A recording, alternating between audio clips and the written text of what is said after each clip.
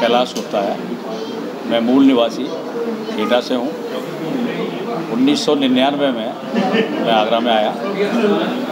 लोगों से सामाजिक जुड़ाव हुआ और इस बार कमेटी ने और क्षेत्रीय लोगों ने एक सुझाव के रूप में मुझे बताया कि साहब वो जनक आपको बनना है। तो पूरे परिवार में सलाह करने के बाद मैंने ये तय किया कि मैं राजा जनक बनने को तैयार हूँ। और ये बड़े सौभाग्य की बात है कि मुझे ये सौभाग्य प्राप्त हुआ। और जो भी कार्यक्रम जिस तरीके से कमेटी ने सलाह दी है, चौबीस, पच्चीस, छब्बीस, सत्ताईस तारीख में जो भी प्रो, का कार्यक्रम चलेंगे, सीता जी का डोला निकलेगा, फिर उसके बाद शादी का पूरा कार्यक्रम चलेगा, मेहंदी का कार्यक्रम चलेगा।